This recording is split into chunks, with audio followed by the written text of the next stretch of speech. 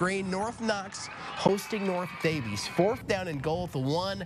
Brennan Messel pushes his way through the pile for the touchdown. The Warriors grab an early 6 to nothing lead. North Davies goes on the attack a little later. Brock Knapp, how about this pass to Drew Boyd, 43 yards. That is a beaut. Cougars are on the board and they take a lead 7 to 6. Warriors go back to the ground attack after that. Play of the night nominee alert first, though it's Carter Limberg with a big first down run and North Knox moves those chains. Here's the play of the night nominee on fourth and two. It's Caleb Bottom who runs it up the middle and runs over a Cougar as he is heading into the end zone, carrying that defender in the end zone. His second rushing touchdown of the night. Warriors lead at 12 to 7. Bottom runs in the two-point conversion a little later, and North Knox gets a big win over North Davies, 46 to 7 tonight. Jack down in Bicknell.